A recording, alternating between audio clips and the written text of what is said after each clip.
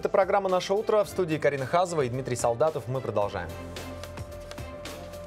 Уже в 45 регионах нашей страны официально запрещена продажа энергетических напитков лицам, не достигшим 18-летнего возраста. Теперь о запрете таких сомнительных бодрящих напитков задумались и в Челябинской области. С такой инициативой выступила детский омбудсмен Евгения Майорова. Именно она обратилась в законодательное собрание Челябинской области. Ну а сегодня мы решили выяснить, почему тонизирующие напитки представляют опасность для неокрепшего организма.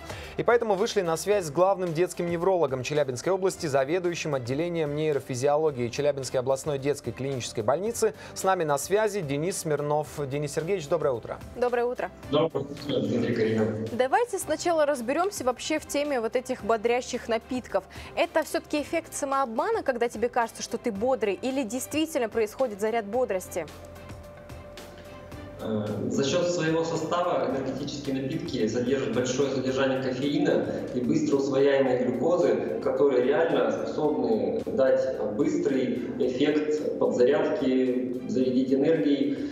И вместе с этим э, в своем отдаленном э, периоде приводит по окончании действия энергетического напитка приводит к истощению организма и, возможно, такому же быстрому, как и первоначальной подзарядке. Что касается действия энергетических напитков э, на детский организм, какие негативные последствия э, может вызывать употребление, пусть э, даже вот одной баночки энергетика? Все производители энергетических напитков ограничивают ценз употребления своих напитков там, 18 лет, кто-то 16 лет. И за счет повышенного содержания кофеина который в детском возрасте мы вообще не рекомендуем употреблять. То есть мы все знаем, что... Ну, я, не, я не знаю э, детей, которые бы пили по утрам чашечку кофе, но при этом мы им э, даем возможность употреблять энергетический напиток на протяжении всего дня в неограниченном и неконтролируемом количестве. Вместе с этим, за счет большого содержания глюкозы, мы можем, особенно у детей, у которых скажем так, еще не выявлен сахарный диабет, может дебютировать, ну, в какой-то степени спровоцировать развитие данного заболевания. И э, вообще если ребенок примет там, не одну, а две, три или четыре баночки да, энергетического напитка, то есть это вообще непонятно, а, к чему может привести. И дети-подростки, употребляющие такие напитки там, вечернее, ночное время, на утро мы можем у таких детей и спровоцировать эпилептический приступ ну, в дебюте заболевания. Серьезные, очень серьезные да. последствия. А вот сладкая газировка, у нее такая же, э, так, такая же, такое же воздействие на организм, как у энергетиков? То есть обычная газировка, в принципе, да, то есть э, они все содержат большое количество сахара, углекислый газ, за счет чего быстро всасывается. Всем детям приятно пить газировку, там, их любимый напиток.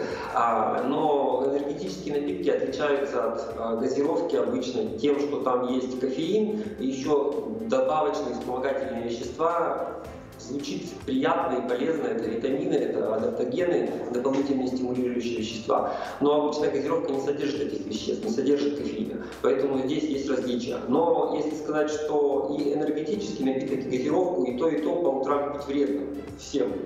Потому что натощак, потому что стимулирует, можно спровоцировать гастрит. Поэтому нужно подходить особенно.